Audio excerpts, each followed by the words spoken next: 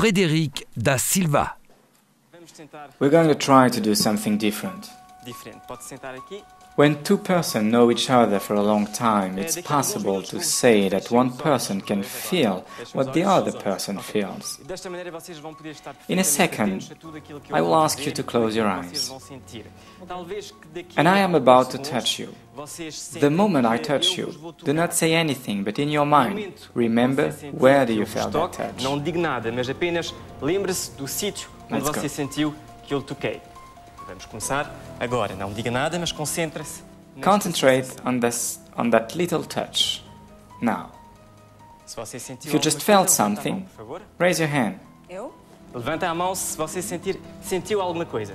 Eu senti. Pouco. Eu também. Com a sua With your mão, hand, show us exactly você where do you alguma that touch. Ok, Great. baixem as mãos. Vamos continuar com uma nova sensação. Concentrate on this new touch now. If you felt something now, raise your hand. Com a sua mão, indique-nos With your hand, show us where you felt that touch. Ok, pode baixar as mãos. Sempre que Good. Now, each time I'm going to touch you, Raise your hand. levanta a mão que Like this. as mãos. Logo que você sentir, As soon as I um touch you, raise your hand.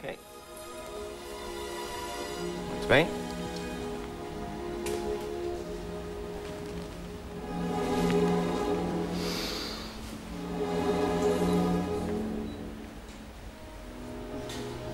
Baixar as mãos. Baixar as mãos. Baixar as mãos.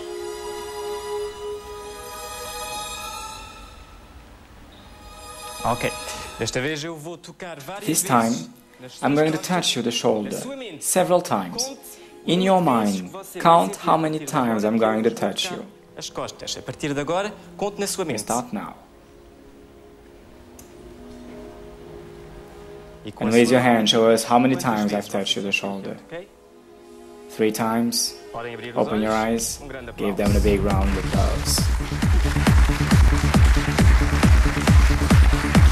Podem baixar as mãos. Sonia, Você sentiu que eu did you feel that I touched you here, and here, and here, and here? And your shoulder. vezes nas costas. Nas costas. In reality, I never touched you. The person that I was touching Quem tu- quem eu was George. foi o Jorge, certo? But you felt the same thing at the same moment. How can we explain those things?